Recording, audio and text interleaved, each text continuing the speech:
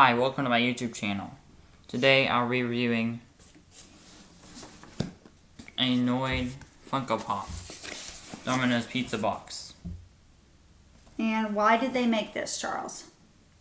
To bring back the Noid. Yep. And why did they bring back? Why did Domino's Pizza bring back the Noid? Because of the 80s? robot car. Yes, they have a robot car that what? Delivers pizza. All by itself. Yes in Texas. So they're doing a promo and they are creating robot cars to deliver pizza where they don't have to have drivers. So you actually would come out, put in a code, and get your pizza out. And they did a promotional Funko Pop box that Charles is going to open. Okay.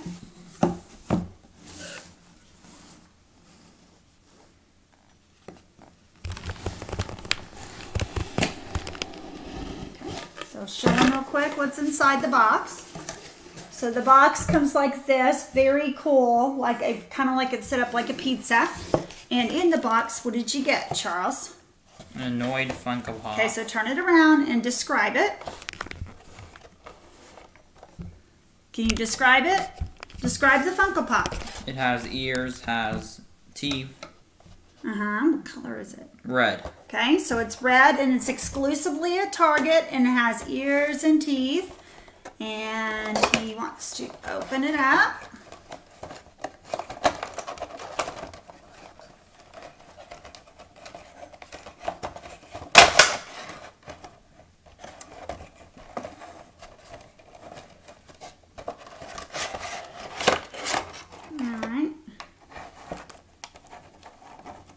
So it's not a huge Funko Pop, right, Charles? It's about the size of your other Funko Pops. It's pretty thin, huh? Mm-hmm. And just like a Funko Pop, it has a very large what?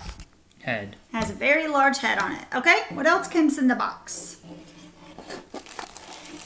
And what is that?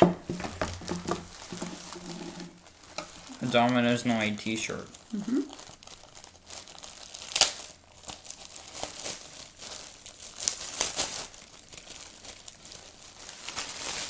All right.